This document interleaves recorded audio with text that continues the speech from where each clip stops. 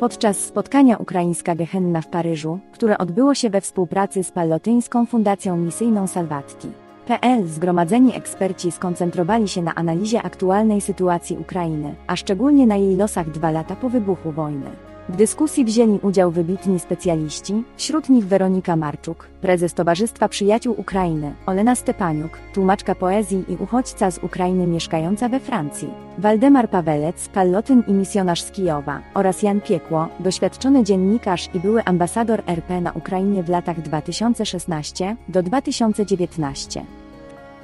Jestem korespondentem niektórych mediów, nie ze wszystkimi mediami ja e, byłbym w stanie współpracować, e, ale muszę powiedzieć, że przekaz, który był w polskich mediach, e, tych, których miałem okazję gdzieś tam też być i przekazywać informacje oczywiście z pierwszego źródła, był w miarę możliwości rzetelny, bez manipulacji, bez...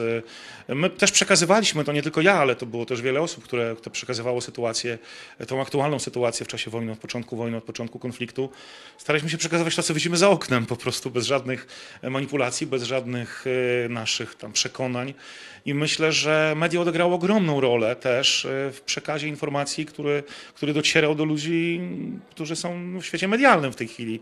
Informacja to jest tak naprawdę ogromne, ogromny sposób też i, i wpływu na świadomość ludzi. Przede wszystkim otwieranie ludziom oczy, bo przecież my byliśmy tam na miejscu i też byliśmy takim, takim, takim lustrem, można powiedzieć, e, dla tych, którzy nie byli świadomi tej całej sytuacji na Ukrainie od początku wojny.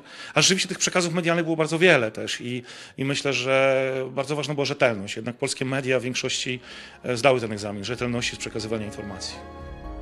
Wszyscy uczestnicy spotkania mocno podkreślali, że los Ukrainy ma ogromne znaczenie dla całej Europy i świata, a przegrana wojna przez Ukrainę oznaczałaby porażkę dla wszystkich.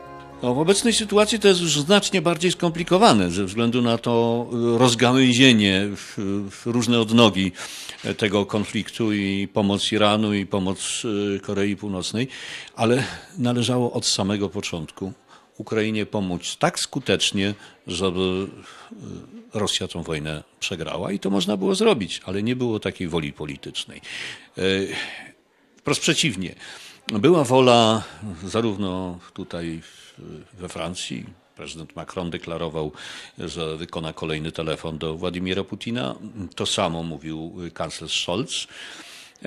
No i właściwie można powiedzieć, że Europa przegapiła najlepszy moment do skutecznej pomocy Ukrainie.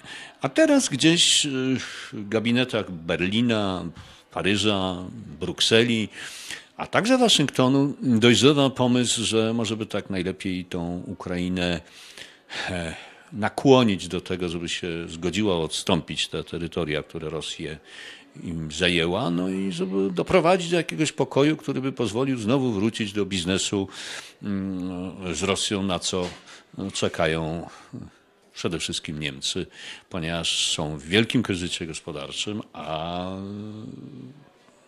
taka energia, jaką mówię o gazie, jak, y, taki tani gaz, jaki otrzymywali od Rosji, no to jest coś, co się w tej chwili nie może powtórzyć.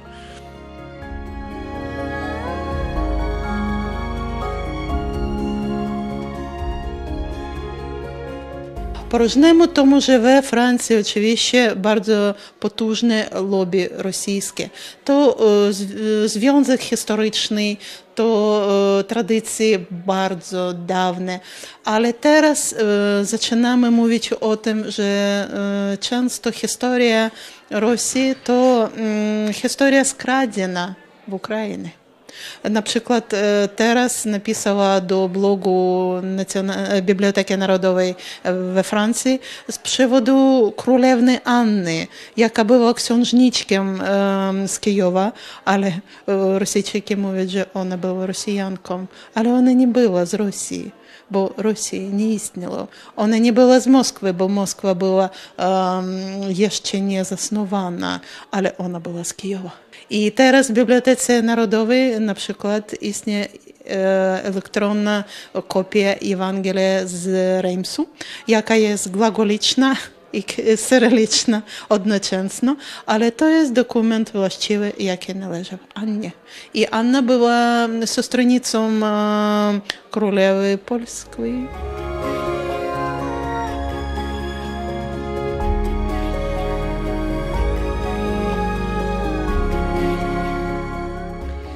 Powiem szczerze, że od początku wojny nie mam czasu nawet na swoje sprawy, o firmy nie wspominam, więc niestety produkcyjna działalność leży.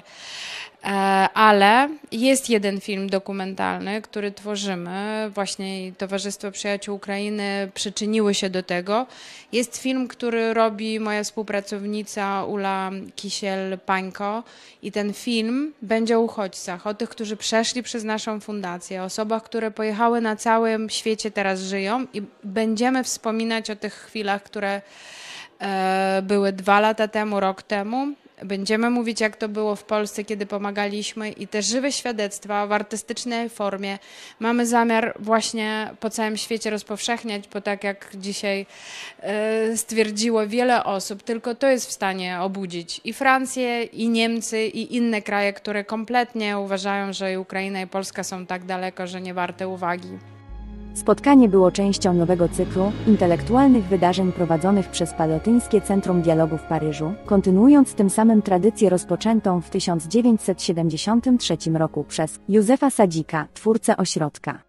Udało nam się zaplanować już spotkania na cały następny rok, już nie jubileuszowe, ale rutynowe spotkania comiesięczne. E, Kolejne spotkanie będzie e, 15 marca, w piątek, e, z siostrą e, Barbarą Chyrowicz, bioetykiem. E, Będziemy zastanawiać się nad kwestiami etycznymi dotyczącymi in vitro eutanazji, początku i końca życia, tych momentów, które e, są najbardziej e, wrażliwe w życiu człowieka. Kim jest e, osoba ludzka, kim jest człowiek. O tym wszystkim profesor Barbara Chyrowicz będzie opowiadać, bo to wszystko no, nas bardzo mocno dotyczy, bo odpowiedź na te elementarne pytania, kim jesteśmy, kim jest człowiek, jak traktujemy człowieka, sprawia, pozwala nam e, w jakiś sposób i rozumieć rzeczywistość, i ją interpretować, ym, i poruszać się w tej rzeczywistości też niepokoju, e, wojny. e, No i też rozwoju technologii, który nas atakuje, czy sztucznej inteligencji, i też nie wiemy, jakie to będzie miało konsekwencje dla, dla nas i dla, dla świata.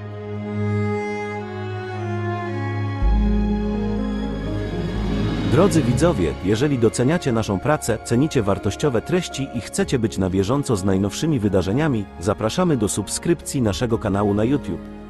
W ten sposób zawsze będziecie na czas informowani o naszych nowych publikacjach i nie przegapicie żadnej ważnej relacji. Jeśli podobał Wam się dzisiejszy program, pokażcie to, klikając łapkę w górę pod tym filmem. Wasze wsparcie motywuje nas do dalszej pracy i pozwala nam docierać do coraz szerszego grona odbiorców.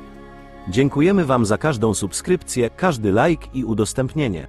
Do zobaczenia w kolejnych filmach.